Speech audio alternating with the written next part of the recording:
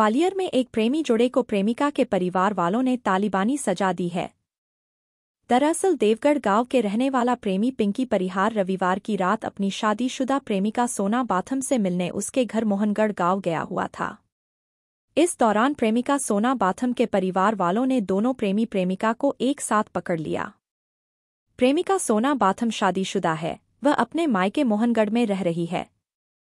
उसका देवगढ़ गाँव के रहने वाले पिंकी परिहार से प्रेम प्रसंग चल रहा है। शादीशुदा होने के बावजूद वह अपनी प्रेमी से मुलाकात कर रही थी। यह बात प्रेमिका सोना बाथम के घर वालों को नागवार गुजरी उन्होंने दोनों को रस्सी से बाँध दिया। उसके बाद दोनों की बेरहमी से पिटाई की। प्रेमी प्रेमिका की तालिबानी सजा का वीडियो सोशल मीडिया में वायरल हो रहा है। इस मामले में अभी तक प्रेमिका के घर वालों के खिलाफ कोई कानूनी कार्रवाई नहीं हुई है। वायरल वीडियो पुलिस के पास भी पहुँचा है।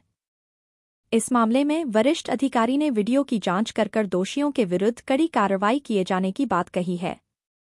दरअसल यह पूरा मामला ग्वालियर देहात के भितरवार थाना के मोहनगढ़ गाँव का बताया जा रहा है। वीडियो में दोनों प्रेमिका रस्सी से घर में एक पिलर के सहारे बंधे हुए दिखाई दे रहे हैं।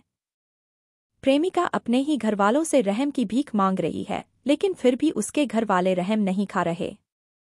प्रेमिका सोना बाथम के साथ भी उसके घर वाले बेरहमी से मारपीट करते दिखाई दे रहे हैं। जबकि प्रेमी युवक पिंकी परिहार ज़मीन पर औंधा पड़ा हुआ है। उसके हाथ पैर बंधे हुए हैं और उसके साथ भी मारपीट की जा रही है। सर प्रेमी